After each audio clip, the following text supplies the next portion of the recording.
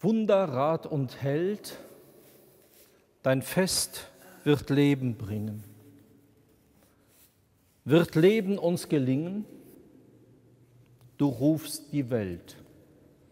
So haben wir, liebe Schwestern und Brüder, hier in dieser Kirche während der Tagzeiten in den letzten Tagen gesungen, um uns innerlich darauf vorzubereiten, um uns Herz und Sinn aufschließen zu lassen für das, was in dieser Drei-Tage-Feier geschieht. Wird Leben uns gelingen, du rufst die Welt. Während der Krisermesse hat unser Metropolit seinen Priestern im Kölner Dom zugerufen, die Kirche ist krank. Nun kann man das vielleicht als als ein Lamento verstehen, wie wir das so oft hören von verschiedenen Seiten. Man kann es verknüpfen mit dem Wort, das durch Papst Franziskus in die Welt zu kommen scheint, dass die Kirche so etwas ist wie ein Lazarett, obwohl es schon viel, viel älter ist als von Franziskus. Der Gedanke kommt von Origenes, den zum ersten Mal richtig äußert in seiner Auslegung des barmherzigen Samariters.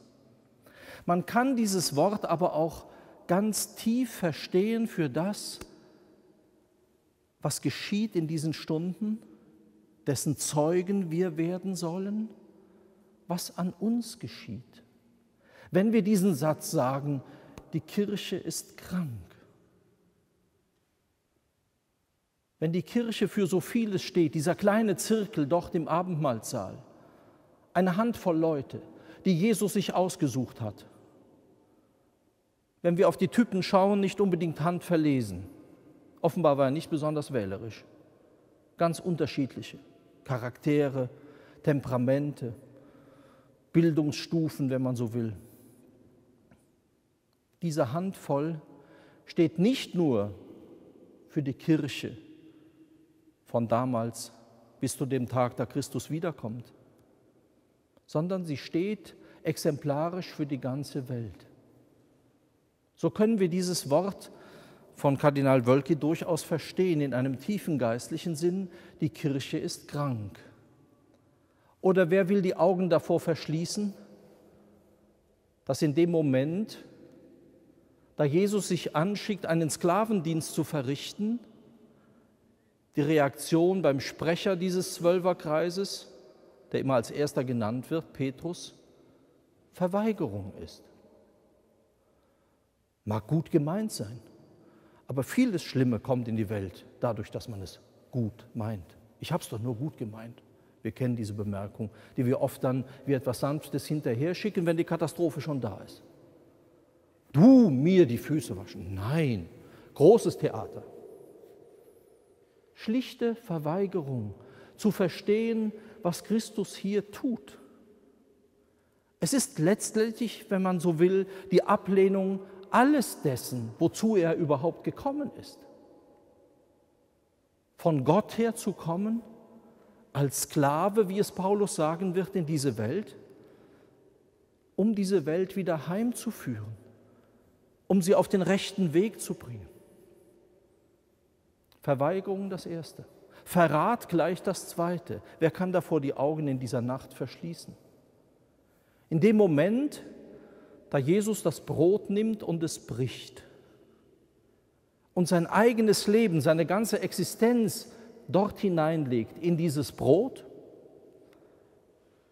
in diesen Akt der Brechung des Brotes und davon spricht, dass er es ist in diesem Brot, dass er selber gebrochen wird, damit diese vielen unterschiedlichen, die da an diesem ersten Tisch Platz genommen haben, eins sind. Und doch, einer von denen ist derjenige, der Jesus verrät. Auch der großmaulige Petrus wird das tun. Aber er findet zurück. Er findet durch das, was wir mit diesem altmodischen Wort Reue bezeichnen, zurück. Diese Reue, die ihn neu aufschließt und aus sich heraus, aus seiner Krümmung herausbringt, wieder zu Christus zurück. Bei Judas ist es offenbar anders. Er findet zu dieser Reue nicht.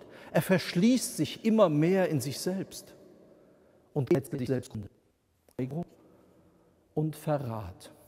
In, wo Jesus am letzten Abend seines Lebens alles zusammenzufassen scheint. Seine ganze Sendung, alles, wozu er gekommen ist, alles, was er zu tun sich anschickt, am nächsten Tag. Vielleicht sollte uns das nicht wundern, dass gerade bis auf den heutigen Tag die Liturgie es ist, die in der Kirche, die immer krank ist von Anfang an, so etwas wie ein Kampfplatz und ein Tummelplatz ist für alles Mögliche. Genau für diese beiden Symptome, die wir schon im Abendmahlsaal diagnostizieren können. Verweigerung und Verrat. Hier geht es nicht um die ein oder andere Form, um diesen oder jenen Ritus, um die eine oder andere Änderung. Es geht um etwas viel Tieferes. Dass wir uns oft genug im Gebaren dieser Welt, wie es das Johannesevangelium sagt, anschicken, das, was Jesus hier tut, was er hier stiftet, zu verraten. Man kann das an einem Beispiel deutlich machen, das wir wahrscheinlich sofort alle verstehen. Wenn wir sagen, dass Jesus an diesem Abend das Amt stiftet, also dass die Hierarchie ihren Ursprung hier hat, dann klingelt es bei manchen schon in den Ohren und sagt, oje, oje, das ist aber nun jetzt wirklich ein bisschen pikant. Ja, das ist pikant. Wenn man Hierarchie so versteht, wie man oft manchen Hierarchen auch begegnet, Anwesende nicht ausgenommen. Indem sie irgendetwas konnotieren mit Herrschaft. Damit hat es nichts zu tun. Wer wollte nach diesem Evangelium der Fußwaschung innerhalb der Kirche oder innerhalb des Klerus das Wort Herrschaft auch nur in den Mund nehmen? Hierarchie meint anderes. Hierarchie meint den offenen Blick in den Ursprung, in den heiligen Anfang. Und dazu gibt es das Amt.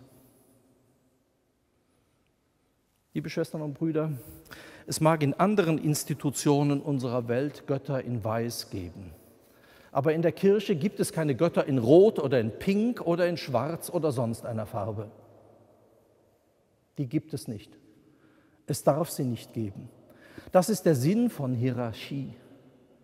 Diesem Beginn, der in der Fußwaschung wurzelt, im Verbluten am Kreuz, im gebrochenen Brot, der der gebrochene Leib Christi ist, damit alle sich zur Einheit in ihm sammeln können, die sich ihm anschließen und davon empfangen und aus diesem ausströmenden Blut aus dem Kelch trinken damit sie diese Einheit und diesen heiligen Anfang und Ursprung bewahren. Das ist der tiefe Sinn dessen. Und es wird zugleich zum Prüfstein für all das ganze Sündenregister, das wir gar nicht alle aufzählen können. Es geht immer um beide Seiten. Die Extreme sind immer die größten Gefahren. Wenn ein Sakrament so weit entrückt ist, dass man es nur noch von ferne anschaut und skrupulös nicht mehr empfängt, ist es genauso ein Irrweg, wie wenn auf der anderen Seite aus dem eucharistischen Brot ein Snack und aus dem Kelch ein netter Aperitif gemacht wird, der an der Bar ausgeschenkt wird. Wir haben beides. Wir müssen uns nichts vormachen. Beides kennen wir. Beides ist Verweigerung und Verrat. Beides hat die Krankheitssymptome dieses Beginns im Abendmahlsaal. Und man kann, wenn man genau hinschaut und es versucht geistlich zu lesen, das in allen Epochen der Kirchengeschichte beobachten, bis in die Gegenwart. Und möglicherweise bleibt uns das erhalten. Was ist das Medikament, wenn wir von der Krankheit der Kirche sprechen? Die Väter benennen das Medikament. Sie sagen, Christus selber als der Arzt reicht uns die Medikamente. Deshalb bezeichnen sie die Eucharistie als Pharmakon Athanasias, als Arznei der Unsterblichkeit. Und alles das, was in diesem heiligen Ursprung dieser österlichen Feier, die wir heute Abend beginnen, wurzelt, ist Medikament für diese Krankheit, die die Kirche immer wieder befällt und die wir vielleicht, wenn wir ehrlich sind, bei uns selber feststellen können. Verrat, im Kleinen wie manchmal auch im Größeren. Verweigerung. Die Frage, warum muss ich denn überhaupt erlöst werden? Mein Leben ist doch ganz schön. Klar, ein paar Abstriche gibt es. Wozu? Wozu dieser, wir haben noch in einer Gruppe letzten Tage darüber gesprochen, wozu dieser grausame Tod? Wieso lässt Gott so etwas zu? Aber wenn wir diese Schritte mit Jesus gehen, ab heute Abend sehen wir, dass wir in ihm ja Gott selber begegnen. Er lässt sich brechen und teilt sich aus als Arznei, damit wir uns nicht als Einzelne verlieren, damit wir uns nicht weiter verkrallen in unsere eigenen Bewegungen. Und wir können es oft genug rechts und links beobachten.